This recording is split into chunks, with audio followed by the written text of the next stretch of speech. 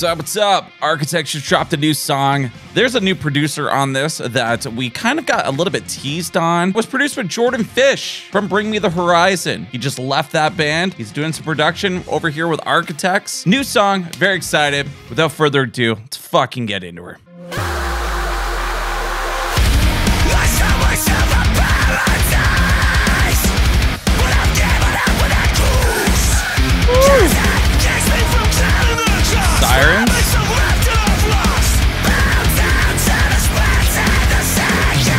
Layers,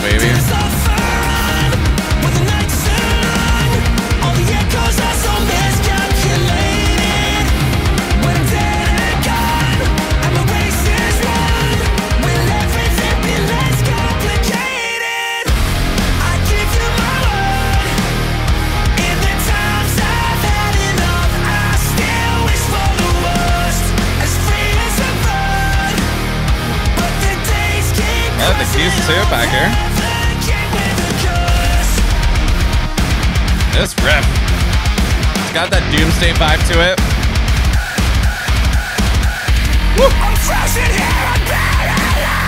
Yeah. What you out of my throat?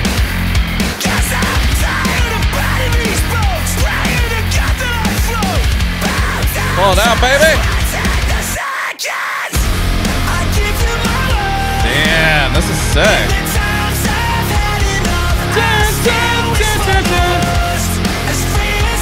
Very catchy.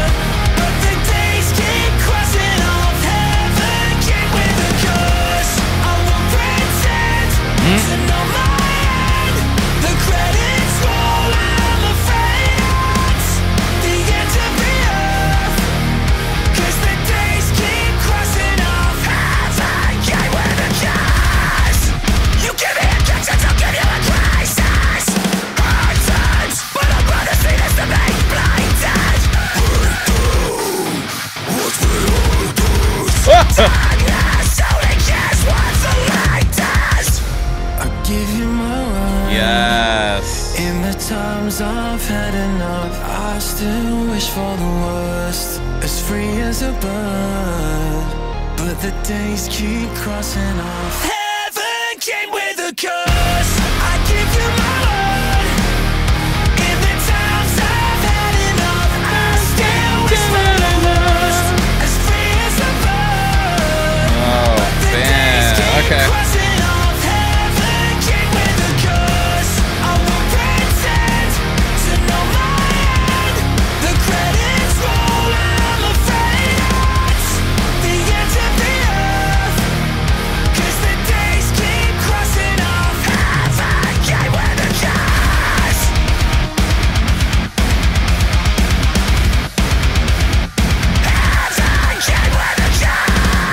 Ooh, this is hot. I like this one a lot. This is really cool that Jordan Fish is on this one as producer.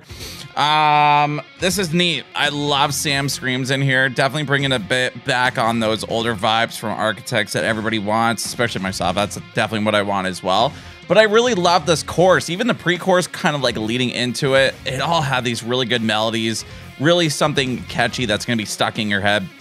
But that chorus with those melodies definitely hit hard uh, with it being very hooky. I think they did a really good job. Uh, the breakdown part, uh, bringing in those lows too. First of all, uh, like even at the beginning, uh, Sam bringing in those lows and then kind of carrying it on with those, you know, nice uh, singing parts. Um, but also like introducing a lot of their different uh, what's it called but bringing out like a lot of their other albums as well so we're getting a little bit of the older architects but like even though sirens coming back i think from like animals they kind of brought that kind of style of like war kind of vibes so I feel like they're doing a really good job mixing everything that they're doing. Uh, I love the little stalls and like cuts uh, before it comes back in, just making it a little bit more punchier and hard hitting. Uh, definitely keeps you on your toes. But even Sam on that little bit of a little bit of a vocal rip. I, I don't know what to call it. Like he just went fast. He put some lows in there as well. This was great. I didn't think we're going to get a blast. I like as much as we all wanted one. I can't say it. Like man. It would have been cool to throw it in there, but I wasn't expecting it. I don't think we're going to get one. If we do get another blast, I think we're going to get it like in the album when that actually drops. Um, but I'm really super excited to see these guys live. They come through, uh, I think next month on uh, the first of the or second. It's their first show off of their uh, tour with While She Sleeps, and I'm very excited for that one. Uh, that'll be the first time that I actually get to see Architects. I've been trying to see them for a while, and every time they try to come through Canada, that always got canceled. I think there was like two shows in a row that they couldn't get through, and a lot of it was because of COVID and probably like uh, a lot of other things possibly as well. So I'm really excited to experience that. Let me know if you guys have actually seen them live at all. What is your favorite single so far coming out this year from them?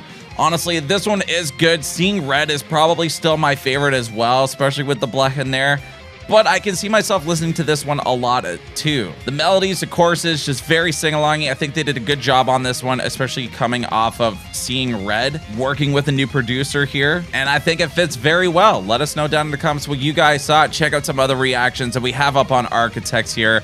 And if you guys are going to be at the show in Toronto, let me know. Maybe I'll see you guys there. Until next time, toodaloo, motherfuckers. Toodaloo.